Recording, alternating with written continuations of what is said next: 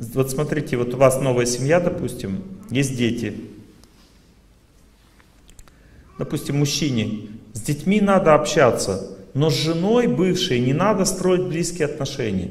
Просто вот отношения по поводу детей. Там спросил, сказал, все. Но если ты начинаешь там сюсю-пусю с бывшей женой, то ясно, ты будешь портить отношения с настоящей. Она никогда это не примет в твоей жизни. И ты говоришь, ну это же мои дети, мне надо с ней отношения поддерживать. Смотря какие отношения ты хочешь с ней поддерживать. Конечно, будет оттягивать. Будет оттягивать, да. Надо его обучать, мужика обучать надо.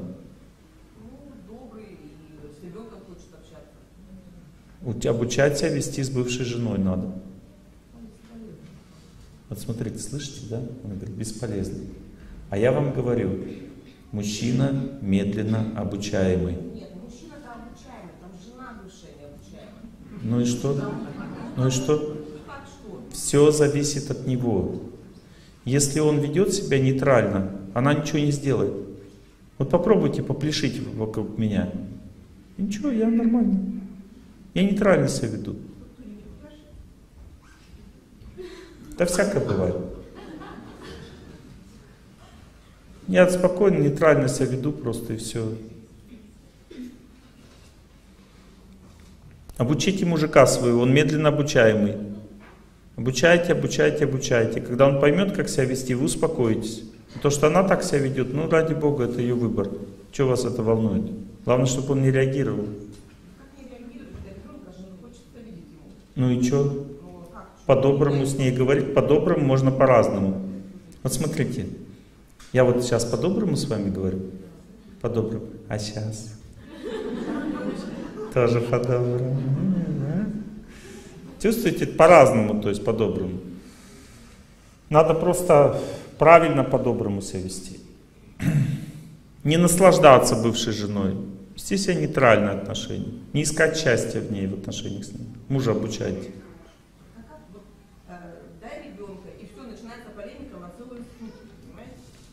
Хорошо. В этой ситуации виноват муж или это ваша судьба? Наверное, видите? Вам надо переключиться сначала на это, потом понять, что я виноват, а не он. Потом Бог вам знает, даст знание, в чем вы виноваты. Сейчас вы находитесь в состоянии боли. Когда человек находится в состоянии боли, он знание принять не может. Вот, допустим, ребенок плачет, ему объяснить, в чем проблема невозможно. Его надо сначала успокоить. А успокоить, в конце концов, сильно успокоить, означает принять судьбу. Поэтому я вас спросил, муж виноват или ваша судьба?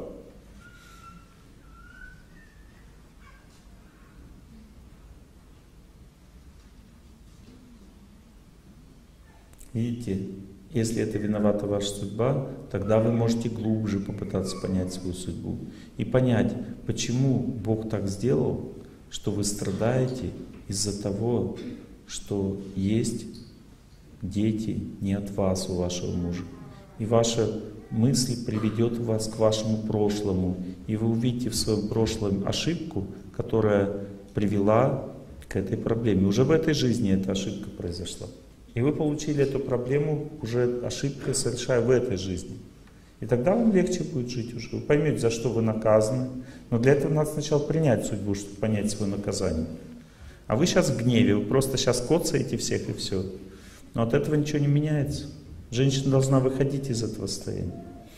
Это божественная энергия покоцать всех.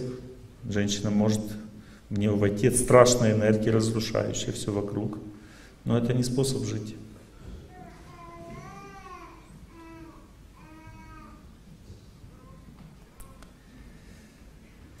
Я чувствую, что вы прямо жаждете вопросов уже, поэтому... Иначе, когда люди начинают спрашивать без моего разрешения, значит, пора уже ответ на вопрос сделать. Ну, по теме давайте, вот вы женщина, да? Микрофончик есть у нас? Вот, а, ага. Я уже давно борюсь за сохранение своей семьи. Очень успешно. Да, и вот особенно вот последний год я вообще конкретно как бы взялась. Взялась, молодец. И за себя, вот, то есть со, со всех сторон. Вот. 35% судьбы вы победили. Это очень-очень много. Когда будет больше 50, то у вас будет кардинальное изменение в жизни. Сейчас пока опасность есть, но она уже меньше. Еще 15%, 16% все, и вы перевесите.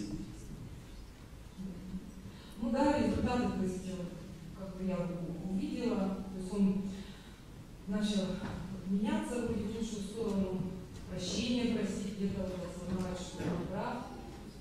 А вы слушаете все остальные женщины. Слушайте все женщины. Когда человек судьбу побеждает, это очень ценное знание, оно вселяет веру. Рассказывайте.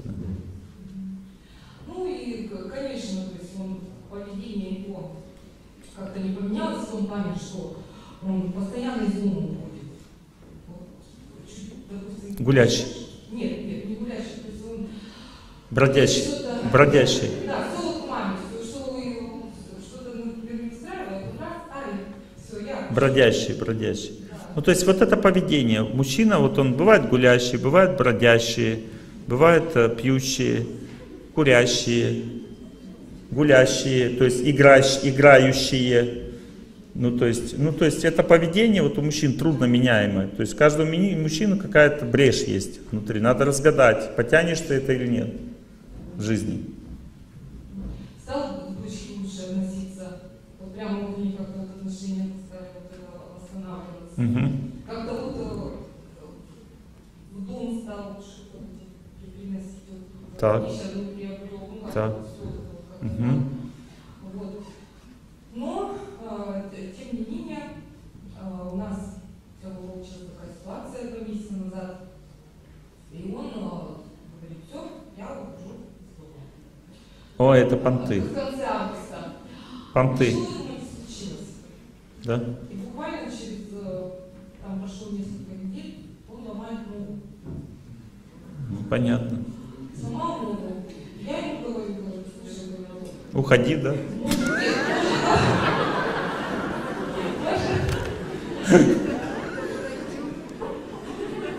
Ты же хотел уходить, но вот угоди со сломанной ногой. Вот это супер, когда вот с мужчиной так, он, он начинает ценить, это реально. Можно в шутку так сказать, ты уходи, ну уходи, что ты сейчас-то не уходишь.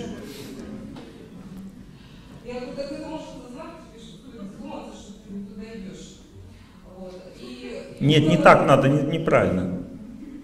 Надо сказать, вот что со сломанной ногой-то не уходишь. В шутку так, подумай. ушел, а потом ногу сломал. Он ушел. И пришел лечиться к вам, да? Нет, не пришел. Ну, как бы там нормально, все, как бы он со мной на связи, там, так, Ага. А, вот так, да? Тогда тянуть надо. ага. Вот. И, значит, я ему сказала, говорю, хорошо. Я говорю, вот поставила ему срок, я говорю, вот ты думай, до 30 октября. Как? Не, не маленький срок, не надо. Не надо сейчас срок ставить. Да, и условия, что, ну, если уж он там ушел, вещи. Не, не надо. Не. Вы нервничаете, это уже неправильно. Нужно терпеть. Молиться, терпеть. Если он вам звонит, хорошо, как вы разговариваете. Если мужчину повело, надо по-доброму с ним, тянуть его. Когда пришел, пилить. Ушел, тянуть по-доброму. Пришел, чуть-чуть воспитывать, подпиливать. Чтобы он как бы... Но когда он ушел, его не надо воспитывать. Ушел, не надо воспитывать. Он ушел же, все, что его воспитывать? Есть связь, контакт есть, используйте контакт, чтобы тянуть, по-ласковому себя ведите, по-доброму как бы. Все, чтобы его тянуло назад. Пришел, дальше воспитывайте понемножку. Чем сильнее привязывать, тем больше воспитывайте. Ну, так получается, что ну, я как бы по-доброму воспитываю, а он сразу раз, и опять к маме, и вот уже, меня уже так замотало, что я думаю, может и правда уже и оставить ему в покое. Так его давно надо было оставить в покое, но не бросать.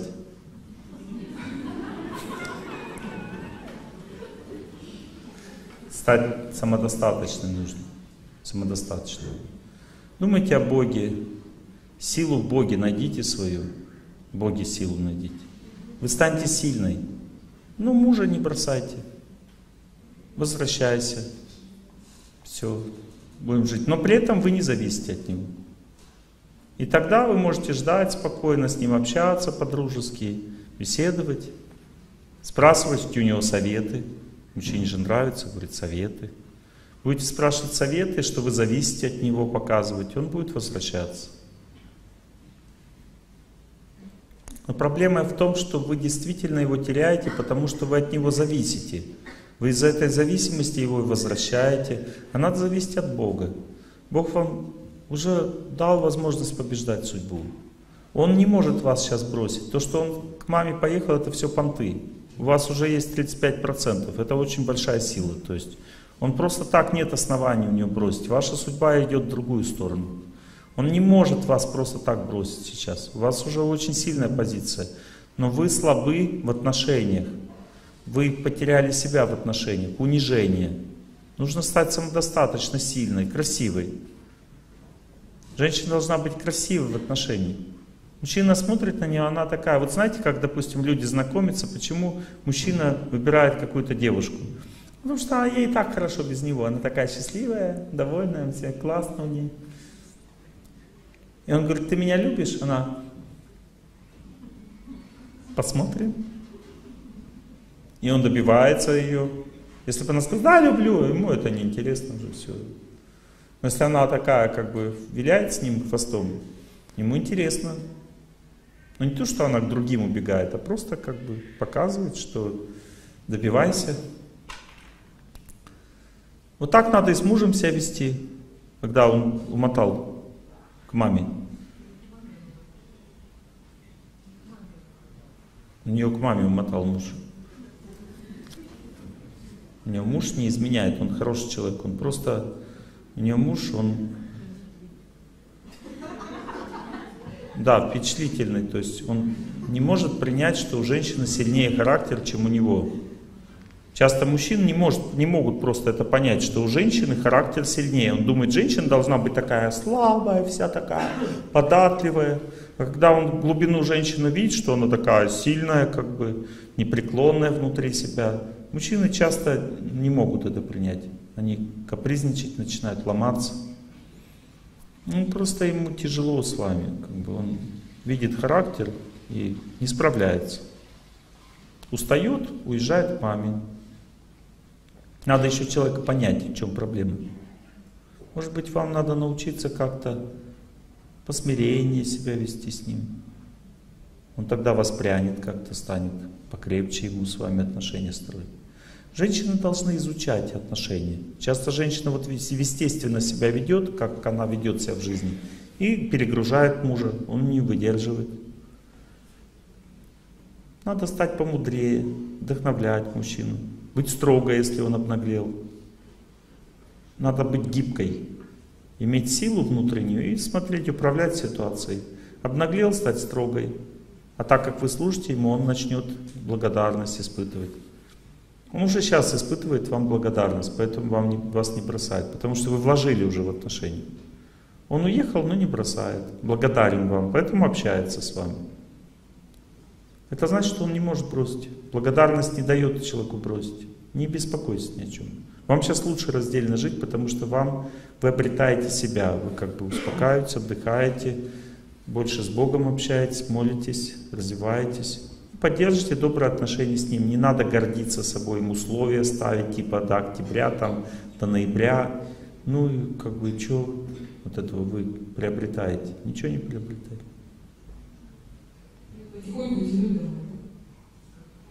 Стать самодостаточной, сильной и не против, быть не против, чтобы вернулся. Но если вы тянете, он отказывается. Когда человека тянуть, он отказывается. Если я вас сейчас кого-то тянуть начнете, вы будете брыкаться. Вот, допустим, даже человек цветы мне приносит, несет цветы мне, дает, я раз за цветы, ему не понравится это. Вот он принес цветы, все, хочет мне дать, а я раз и беру. Спасибо, давайте. Он скажет, нет. У меня такое было уже, знаете. Я специально провел эксперимент, людям показал. Девушка была согласна. Я говорю, давайте сейчас с вами проведу эксперимент. Она пошла мне цветы дарить. Она говорит, ну давайте. Я начал, подбежал к ней, такой, прям встал с места, побежал к ней, подбежал. Говорю, ну давайте, давайте цветы. Она говорит, я потом дам. И пошла садиться на место. Не согласилась. Тянешь, значит, обратная реакция. Тянешь, это привязанность, это не любовь, это жадность. Это эгоизм. Тянуть человека на себя, эгоизм. Никогда так не надо делать. Всегда нужно дать свободу в сердце человеку. Но внутри молиться, чтобы сохранились отношения. Но и не, не так же его не выгонять тоже. Это обратная сторона медали. Пошел вон, иди сюда. Это все привязанность так действует. По-доброму относиться, любить, заботиться. Как у тебя дела? Все хорошо, молодец, спасибо, будь счастлив. Но если ты привязан, ты не можешь так говорить. Тебе хочется ему что-то сказать такое, что чтобы он или пришел, или ушел, что-то над этим делать. Это ваша проблема, не его. Надо к Богу быть привязанным, а не к человеку. Будьте самодостаточной, станьте самодостаточным. Не привязывайтесь к человеку. Вера в Бога означает на Него надеяться, а не на человека. И человек тогда возвращается. Это чудо. Но так надо жить. Спасибо вам большое. Благодарю.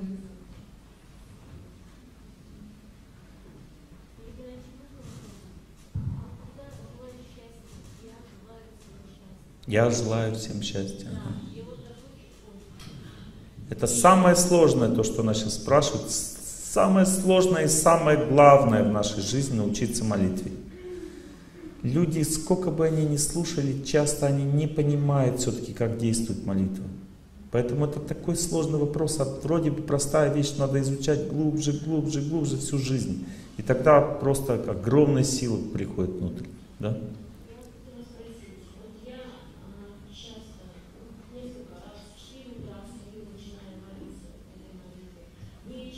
Нет, это неправильно. Не надо часто молиться. Надо один раз молиться, но подолгу.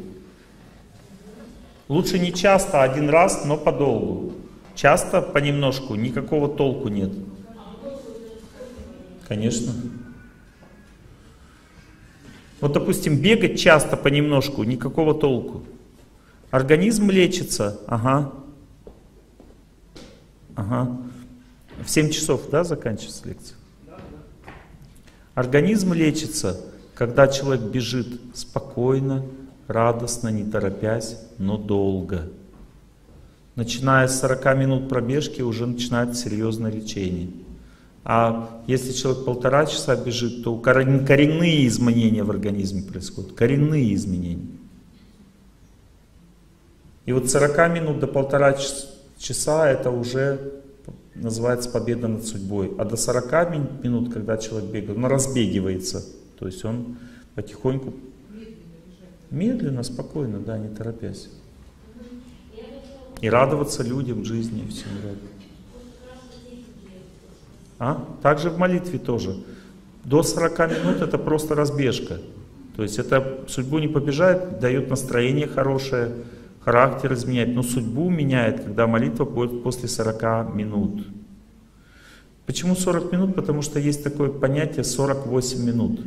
48 минут — это очень важная временная единица. Раньше люди не часами мерили пространство, а 48 минутами. Это на санскрите называется мухурта, это время.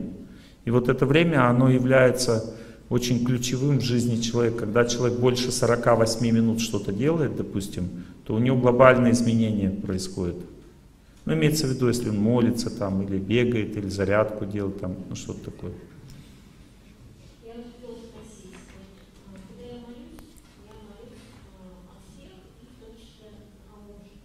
Не, неправильно.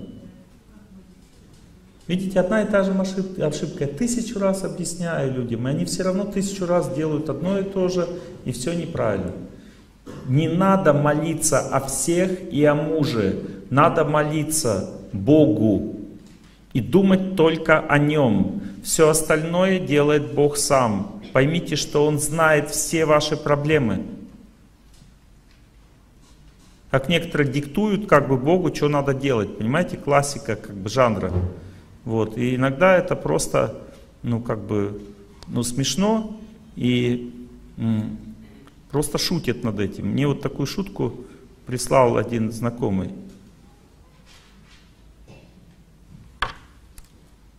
Шутка такая, то есть стоит такой хомячок с руками сложенными вверх, такими, и молится. Хочу толстый кошелек и тонкую талию. Прошу, Господи, смотри, не перепутай.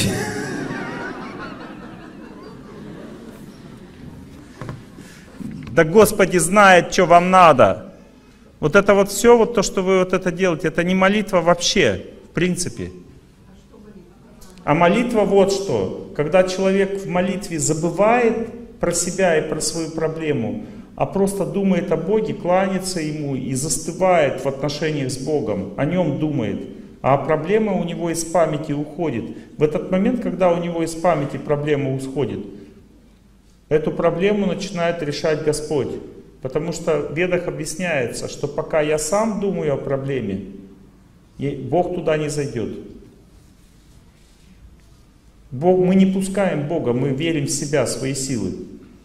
Но когда я забыл про проблему и сказал, Господи, я хочу думать о себе, сам решай, решать эту проблему, не решать. Вообще это не мое дело, это твое дело, сам реши. Вот тогда она начинает проходить. Поэтому надо отвлечься от всех и просто думать о Боге, просто служить Ему изо всех сил. Вы поймите, что это очень трудно отвлечься от проблемы. Вам будет не пускать, у вас психика будет рваться. Но когда вы сможете думать о Боге и забудете про проблемы, в этот момент начинается победа над судьбой.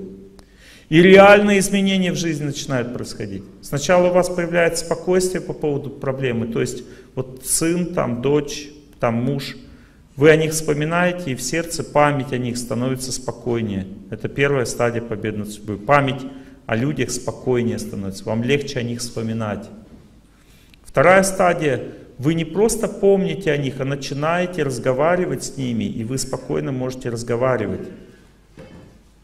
Допустим, одна женщина говорит, Олег Геннадьевич, я вот молюсь, мне вроде бы легче стало думать, но у меня сейчас интересный момент такой произошел.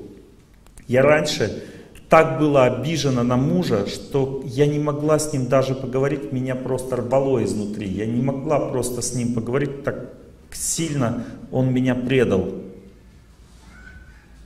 А сейчас я вот молюсь, и я разговариваю с ним как с приятелем. То есть он бросил ее. Я, говорит, разговариваю с ним как по-доброму, спокойно. И вообще у меня в сердце нет ни обиды, ничего на него. Я говорю, вот это вторая стадия уже. Это значит, что скоро он вернется уже. Да, вот так пошло, вот так в сердце. Ты разговариваешь с ним, дружишь просто, по-дружески. Как бы ты не против его жизни, там все хорошо к нему относится. И дальше уже у него возможности предавать тебя уже нет. Потому что почему он с другой-то живет? Потому что ты наказана за что-то. А если вот эти две стадии прошли, значит наказания уже нет. Все, оно закончилось практически. И теперь только жди, когда у него там начнется нервотрепка с этой дамой, и его потянет куда? Там, где у него есть любовь, назад, в теплые отношения к жене. Все. Это третья стадия. Он меняет свое отношение и возвращается. Я понимаю, я просто вам рассказываю, как происходит дальше победа над судьбой, если человек смог отвлечься от своей проблемы и думать о Боге. Но если он этого не смог сделать, шансов победить судьбу никаких нет. Хоть ты целый день молись и думай о своей проблеме, и проси Бога там тонкую талию, толстый кошелек, хоть, хоть, хоть там целый день это делай, ничего не поможет. Молитва такая, прославляющая Бога. Вера ваша. Внутри веры есть разные молитвы. Молитва короткая, которая имеет в себе обращение к Богу или имя Бога, прославление Бога и способность не обращать на себя внимания, то есть ты не на себя акцентируешь внимание в молитве, а на Бога. Думаешь о Нем. Вот как допустим, вот эта молитва. Мария, Дева, радуйся, Пресвятая Богородица. О себе что-то есть? Нет? Нет. Человек говорит о Боге, прославляет Богородицу. Все, вот такая молитва побеждает судьбу. Человек прославляет Бога, думает о Боге, любит Его и забывает про себя. Короткую молитву на четках много раз. Час повторять одно и то же. Бьете в одну точку. Постепенно постигаете эти отношения с Богом. И в это время Бог побеждает вашу судьбу. Он это делает, а не вы.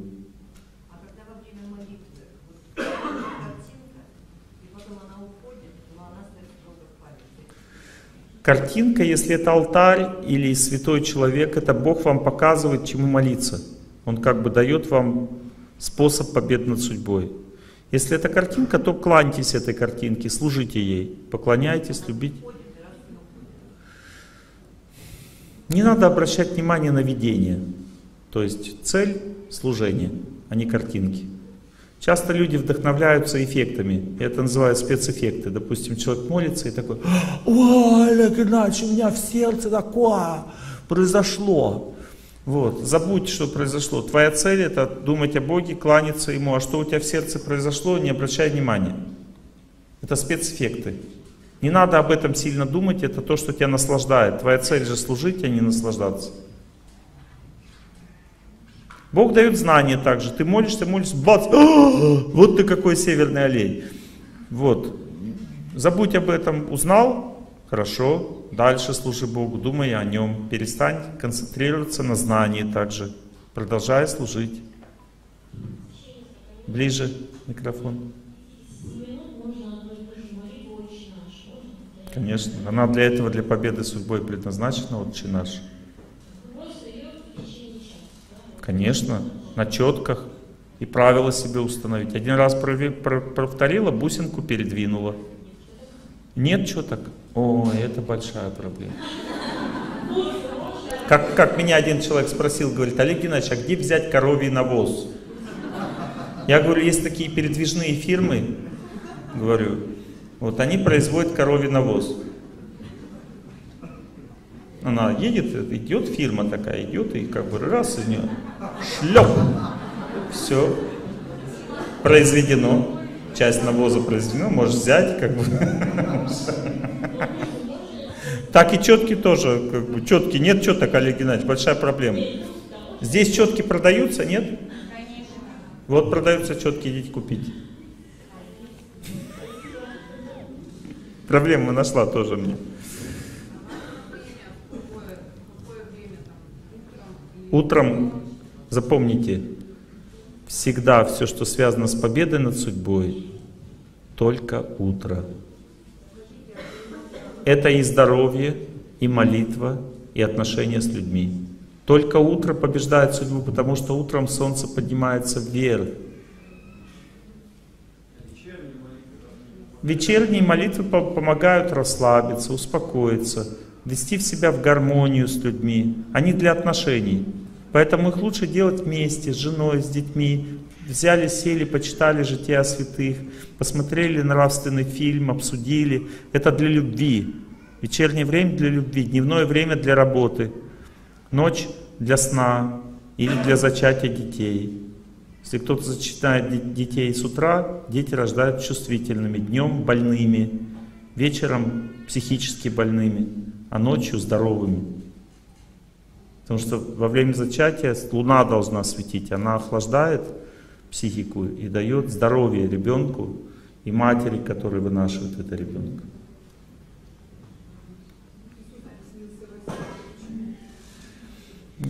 Не думайте об этом. Это вызовет у вас гордость. Вот, видите, тем более. Вот сзади женщина, светлые волосы. Да, вы. Угу. Садитесь.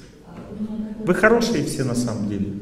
Все люди на Востоке очень открытое сердце, очень добрые такие. Вот, допустим, я когда читаю на Западе лекции, они тоже хорошие все, но они слушают такие, просто так вопрос не задают. Если я спросил, они, они э, говорят, то есть они такие немножко зажатые. А в Сибири люди открытые, они открытые такие, как бы сердечные. С ними легко общаться, без проблем вообще.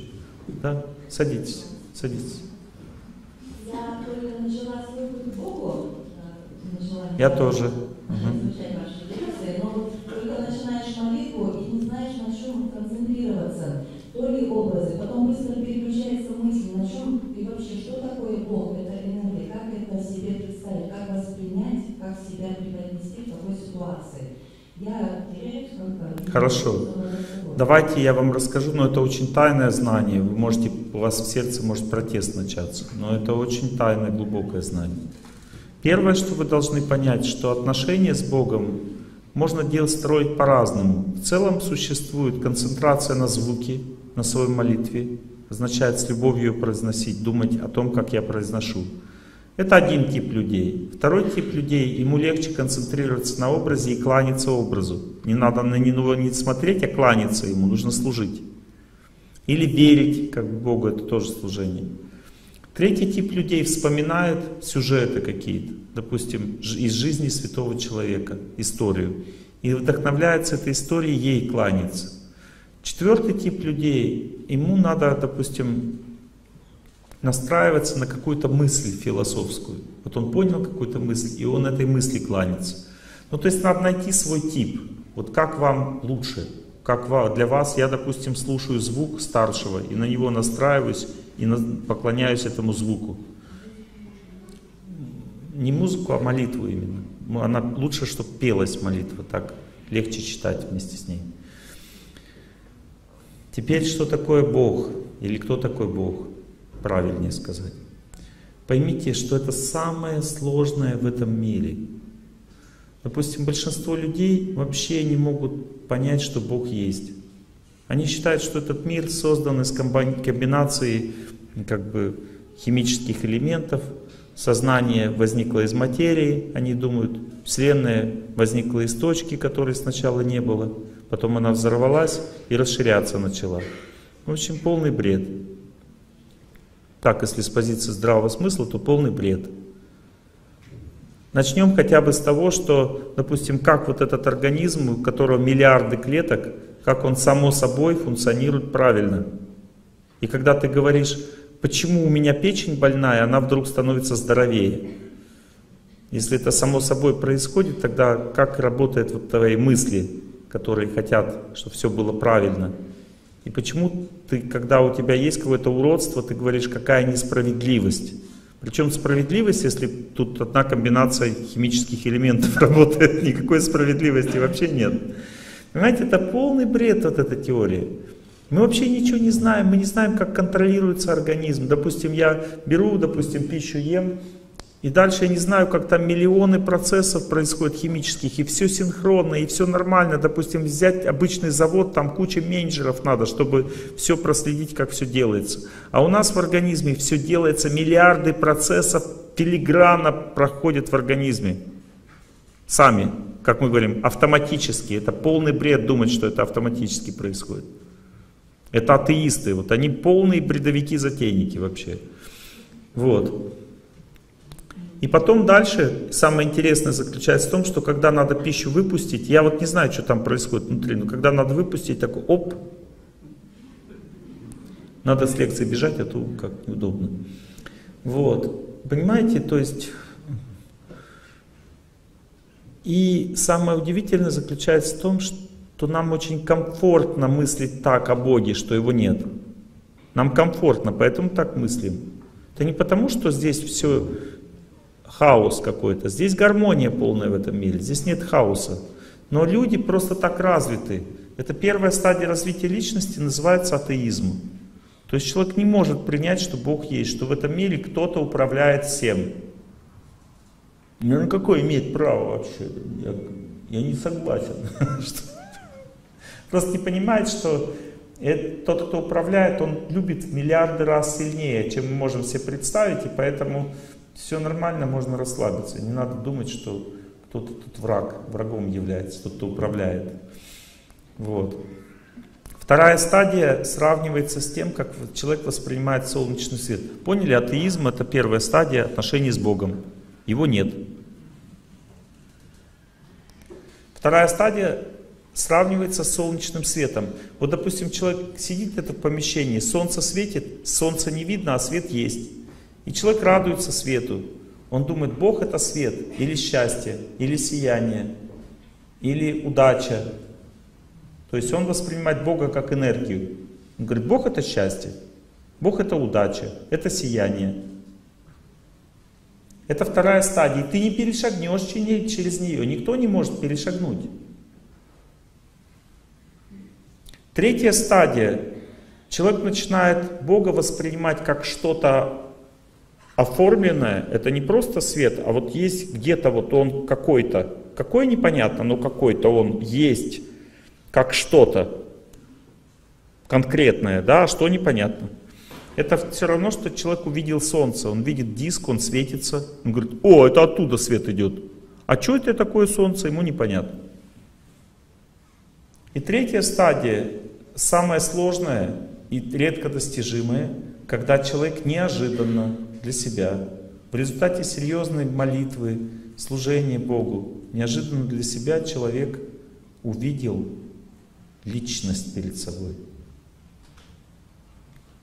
Личность Бога. Не личность человека, а личность Бога.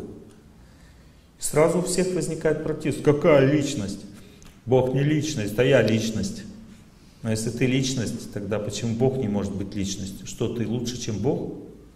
Мы себя считаем лучше, чем Бог, поэтому мы не допускаем, что Бог может быть личностью. Вот в этом вся загвоздка. И у личности есть имя.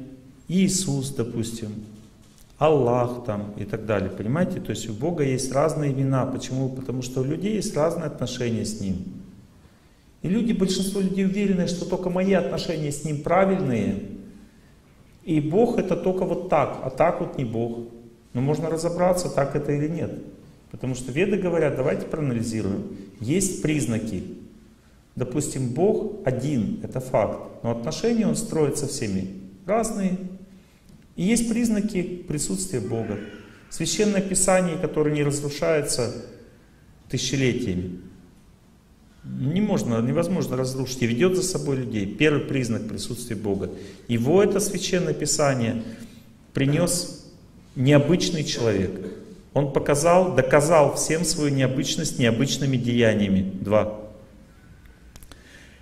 Это священное писание, и этот путь делает людей святыми. И описывается жизнь, жизнеописание этих святых, что они действительно были святыми. Это признак того, что это от Бога. Три. Каждое направление веры дает особые, необычные отношения с Богом, которые нигде нельзя встретить.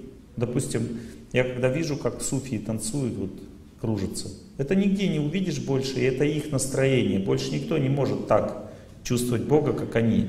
Или, допустим, как, допустим, крестьяне вот поют о Боге, вот у них такое скорбное пение, такое чистое, возвышенное. Это больше ты нигде не увидишь, только там. Это особое, необычное отношение с Богом. Это признак контакта с Богом. То есть вера создается для того, чтобы создать необычное, глубокое чувство любви, которое имеет свое какое-то особое настроение. И вот для этих особых настроений созданы разные веры. Кому-то, допустим, хочется могущество Бога испытать. И тогда он, Бог предстает перед ним как Аллах, то есть могущественный, говорит Аллах Акбар, он велик. То есть человек становится бесстрашным, сильным, влиятельным, могущественным. И такому человеку даже разрешено несколько жен иметь, потому что он хочет такие отношения с Богом строить, он хочет быть сильным, могущественным. И поэтому эти люди, они обретают бесстрашие, они даже смерти не боятся таково влияние Бога. Но если они это используют против людей, тогда им не, не помогает вера в Бога. Приходится идти в ад за это. Понимаете, да? Другой вариант. Человек, допустим, любит Бога как того, кто жертвует себя всем, кто смиренный, кто сострадательный, кто самопожертвенный, бескорыстный, хорошо, тогда Бог предстает уже по-другому в виде Иисуса Христа. И человек ему поклоняется в этом образе. Понимаете? То есть Бог один, но по разные образы, и люди в основном не, не, не сильно развиты для того, чтобы это понять. Они в основном считают, что Бог только в моей вере есть, только в моей традиции, и все остальные заблуждаются и начинают воевать, ругаться с ними. Это признак ну что, верующий человек? Верующий. Чистый? Чистый. Возвышенный? Возвышенный. Святой? Может быть, даже святой. Но не развиты в более широком представлении о Боге, о Боге. И это проблема. Особенно в наше время, когда все, ну, когда нет монокультур. Вот сейчас в мире нет монокультур практически. Даже Турция, там Иран, Ирак, где были монокультуры, они уже разбавляются очень быстро. Поэтому люди должны учиться признавать, что Бог есть в других традициях, чтобы сохранить мир на земле. Раньше не было это так актуально, сейчас очень актуально. Итак, кто такой Бог и как с Ним строить отношения, это ваш личный выбор. Прийти к этому непросто. Сначала вы поймете, что Он есть и что Он счастье. Потом вы поймете, что Он все-таки где-то и как-то. Потом вы поймете, что Он кто-то. То есть это требует времени, развития. И только когда человек приходит уже в развитое состояние, он принимает веру какую-то. Вера это не знаете, как в мультиках показывают, вот там эти мультфильм, этот ледниковый период. И там вот такой танец есть этих.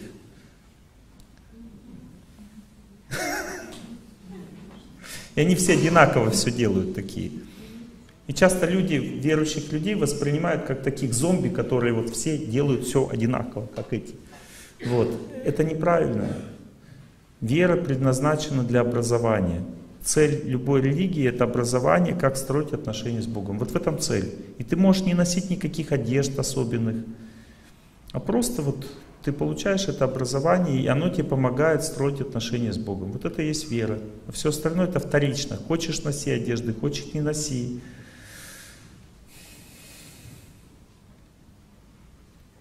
Вера превращается в культуру. Когда люди живут на одном месте каком-то, они верят в Бога. У них культурные традиции. И культурные традиции рождают способ поведения, мышления, отношений. Вот, допустим, взять, допустим, вот здесь это место. Оно основано на культурных традициях, и ты не можешь это не принять. Если ты это не принимаешь, здесь у тебя ходу твоей жизни не будет. Вот, допустим, человек в мусульманскую страну приехал, и он не уважает культуру мусульманскую, означает веру.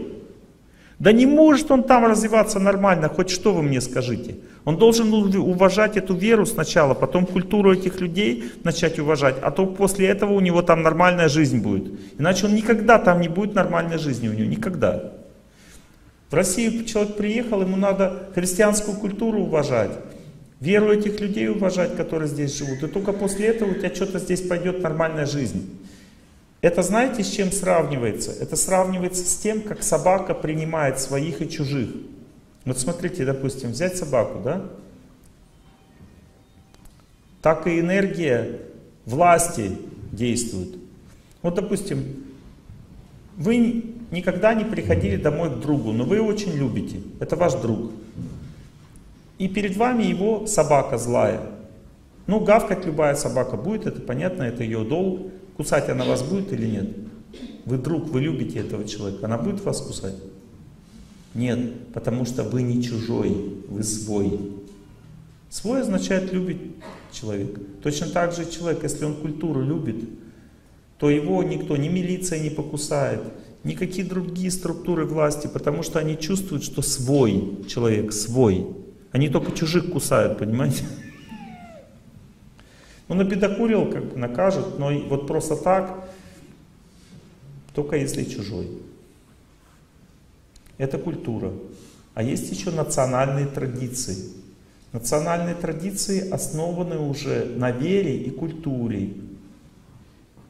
И эти традиции, они упрощают жизнь. Допустим, человек говорит, у меня такая традиция, поэтому я, допустим, такой-то веры. Он говорит, я допустим, татарин, поэтому я мусульманин. И по-другому быть не, не может, он так говорит. По-другому быть может. Можно любую веру выбрать любому человеку, любой как бы, нации, нет проблем. Но так лучше. Вот если ты татарин, все татары мусульмане, вот так тебе будет лучше жить, тебе легче будет общаться, вот эта вера для тебя проще. Но если человек не может, вот ему хочется другую веру, ну ради Бога, Будет сложнее, но тоже можно. Бог не запрещает. Понимаете? Это индуизм уже, это из лона индуизма пришла вера. А все секта. Все секта. Секта это группа людей, которые верят как-то по-своему. Да все секты. Вот смотрите, допустим, христиане, христианство началось, допустим, как секта. Они были изгои, то есть. Да ладно, прекратите, сейчас культура целая христианская, как бы. Мусульмане тоже, когда они начали вот поклоняться Богу, когда пришел Мухаммед, их не принимал никто как, как э, ну, какая-то вера, культура. Они говорят, вы что, вы вероотступники, вы как бы предаете традиции своих э, предков, им говорили. Их даже мучили там за это, понимаете? Но Мухаммед пришел для того, чтобы дать что-то новое, прогрессивное. И потом мусульманство распространилось по всему миру, перестало быть сектой. Уже все знают, что это как бы правильная традиция. Вот. Точно так же веды, тоже они пять тысяч лет назад пришли на землю. И тоже как бы не все принимали сначала, потом приняли. Если уж говорить о сектах, то секта означает, что люди делают несколько вещей. Первое, они ненавидят другие духовные традиции. Это признак секстанского мышления. Ненависть к другим традициям. Только наша хорошая, все остальные грешники. Вот это чистая секта. Второе, если уж говорить о таких извращенных уже понятиях секта, ну извращения уже пошли, то дальше идет следующее. Все брось, брось жену, брось свою квартиру, отдай Богу и предайся. Живи как монах, забудь свою жизнь мирскую как бы и предайся. А вот тебе представитель Бога, и он твой господин, а ты его раб. Вот это уже секта. А? Это факт, что это бизнес, но вот это, если говорить секта, то вот так. Начинается сектантское мышление с ненависти к другим верам. Вот это признак секты. Вот, а заканчивается вот тем, что человек теряет себя как личность. Его начинают эксплуатировать, вытягивать с него деньги, заставляют бросить жену там и так далее. Это сектантство. С этим надо бороться. Или, допустим, вера начинает использовать религиозное знание целью политики. Вот, допустим, человек читает лекцию о духовной жизни, все правильно, сохраняя семью и т.д. и т.п. И так потихонечку людям говорит, что власть это ерунда, надо ее свергнуть там и так далее. Это тоже секта. Потому что когда настроение, желание любить Бога люди используют целью разрушения того, что есть, культуры, власти, и так далее. Это чистая секта. Так нельзя делать. Надо любить культуру тех людей, которые здесь происходят, есть, которая сложилась уже тысячелетиями. Надо власть уважать, поддерживать ее. А э, религиозное знание духовное нужно использовать, чтобы людей просто людям помочь жить нормально. А куда они пойдут дальше, это их выбор. Если ты тайком как бы тянешь людей в свою веру, это тоже неправильно, это насилие.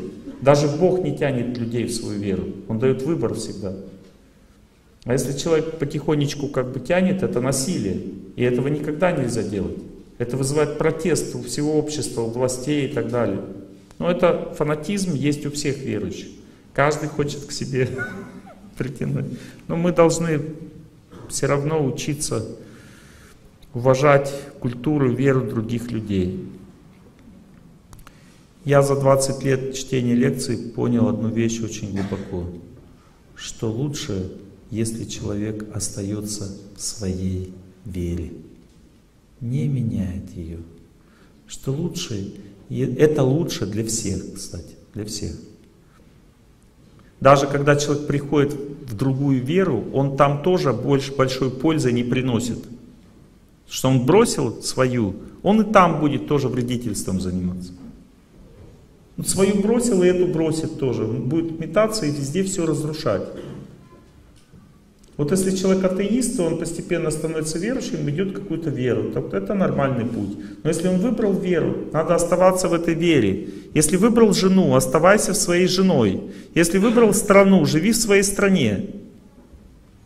Исключения бывают, но они приносят всем беспокойство. Человек иммигрантом стал, Выносит всем мозги, ему выносят мозги, постоянные проблемы. Жену бросил, опять проблемы. Веру поменял, опять проблемы. сам себе создает проблемы, потому что он не знает, как правильно жить. Если вы говорите, я в своей вере не могу получить знания, это значит, что вы никогда и не пытались. В каждой вере есть знания, иначе зачем ей было существовать? Если вера существует несколько тысяч лет, значит она имеет знания, просто ты не умеешь получать в ней знания. Это уже другой вопрос, твои проблемы. Так ради Бога изучайте все. Это у нас есть примеры. Лев Толстой такой пример. И, конечно, были противники против его такого подхода, но он был очень прогрессивный человек. Он все веры изучал, везде брал самое лучшее. Сурожский, допустим, Антоний, современник уже, он изучал все веры. Один, допустим, человек ругал э, Веды, вот Сурожскому написал письмо, что вот это плохо, там туда все. Вот. Ну, тот ему в ответ написал высказывание. Где это, в, в каких священных писаниях наших вот это высказывание? И ему тот друг написал, это вот отсюда, это отсюда, это отсюда. Он ему ответил, дал ссылки. А Сурожский ему на ответ написал письмо, а вот это Бхагавадгита, а вот это Упанишады. То есть он мне высказывание из вед прислал. Они из... и, и тот понял, что везде одно и то же. Он ему говорит, так это наше высказывание. Тот говорит, вот именно, что там то же самое, что и здесь. Все. Есть какие-то особенности, это факт, но для этого люди выбирают свою веру, им те особенности больше нравятся. Но суть одна и та же, не убей, не бросай жену, люби Бога, будь честным там и так далее. Все заповеди одинаковые везде. Просто культуры разные, разные способы восприятия. Кто-то человеку надо танцевать, чтобы Бога понять, кому-то надо на коленях стоять, кому-то нужно каяться, там, кому-то в цепях ходить, там, все по-разному. И все это хорошо.